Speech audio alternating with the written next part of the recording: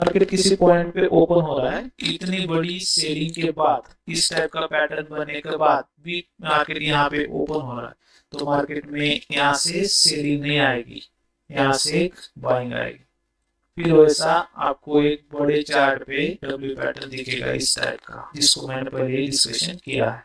Hello friends trades planning में आपका स्वागत है। चलिए देखते हैं आज मार्केट ने कैसा मूव किया और हमने कल कैसा प्रिडिक्शन किया था। ये बैंक निफ्टी का चार्ट है फ्रेंड्स कल के वीडियो में हमने डिस्कशन किया था कि मार्केट में कल अगर मार्केट फ्लैट ओपन होता है तो एक सेलिंग नहीं आएगी। उसमें एक डब्ल्यू पैटर्न हमको फॉर्म होते हुए दिखेगा और मार्केट ने वही किया है बड़े चार्ट पे बड़ा डब्ल्यू क्रिएट किया है। ठीक है? कल के लिए देखते हैं क्या करता है मार्केट हम कल बहुत ही कॉन्फिडेंट है इस बात से कि मार्केट यहाँ से बाइंग देगा, यहाँ से सेलिंग नहीं देगा, ठीक है?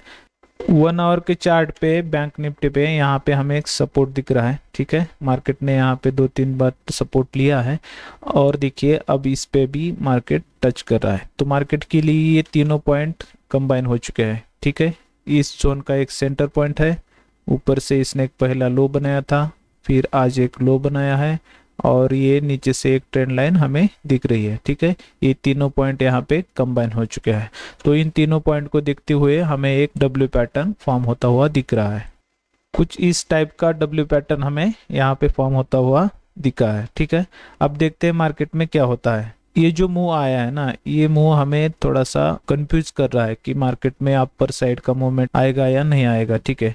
तो इसका भी हम एनालिसिस करेंगे। मार्केट इस ट्रेंड लाइन को अगर ब्रेक कर देता है रेड ट्रेंड लाइन को, और नीचे आता है, इसको ब्रेक करने के बाद हम कंप्लीटली कल पुट बनाएँगे। ठीक है? आज हम पुट के लिए इंटरेस्टेड नहीं थे, लेकिन मार्केट में एक बार ये मूवमेंट हमें दिखा है। ठीक है? ये थोड़ा सा कट लग रहा है मार्केट में।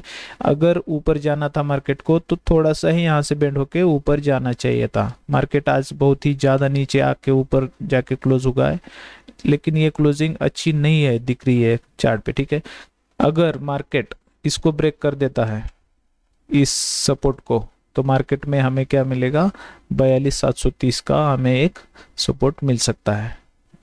पंद्रह मिनट के चार्ट पे हमें ये दो पॉइंट कनेक्ट होते हुए दिख रहे हैं, ठीक है? मार्केट अगर फ्लैट ओपन होता है ऊपर की साइड निकलता है, अगर हमें यहाँ पे मिल जाए मार्केट तो हम अपना पोजीशन बुक करेंगे कॉल की साइड किसी ने लिया होगा तो और वेट करेंगे कि यहाँ पे मार्केट क्या करता है। अगर मार्केट यहाँ पे नीचे की साइड कुछ प्राइस एक्शन क्रिएट करता है तो ठीक है, हम कल यहाँ तक का टारगेट लेंगे।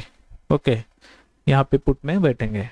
अगर कल हमें बहुत ही ज़्यादा गैप अप मिलता है, समझ लो इस लाइन से नीचे कहीं यहाँ पे तो हम डेफिनेटली इस लाइन पे जाते ही हम एक पुट का ट्राई करेंगे। क्यों करेंगे? क्योंकि यहाँ पे मार्केट में एक रिजेक्शन मिला था। इसको ब्रेक करते हुए मार्केट में यहाँ पे हमें सपोर्ट मिला है, ठीक है?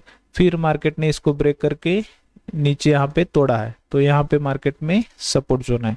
तो हम कल डिस्कशन कैसे किए थे, उस हिसाब से 900 और 800 के बीच में ये लेवल आता है। तो इस पे हमें रेजिस्टेंस कंप्लीटली मिलेगा और हम यहाँ पे एक पुट का ट्रैक करेंगे। मार्केट अगर गैप डाउन ओपन होता हुआ हमें दिखता है नीचे की तरफ़ तो हमें वेट करना है कि यहाँ पे मार्केट क्या कर रहा है, ठीक है? नीचे से एक बड़ी कैंडल खड़ी कर दे, ग्रीन तो हम ऊपर इसका हाई ब्रेक होते ही हम यहाँ पे एक सी बनाएँगे। जाते जाते चैनल को सब्सक्राइब करिए फ्रेंड्स। चलते हैं। Thank you.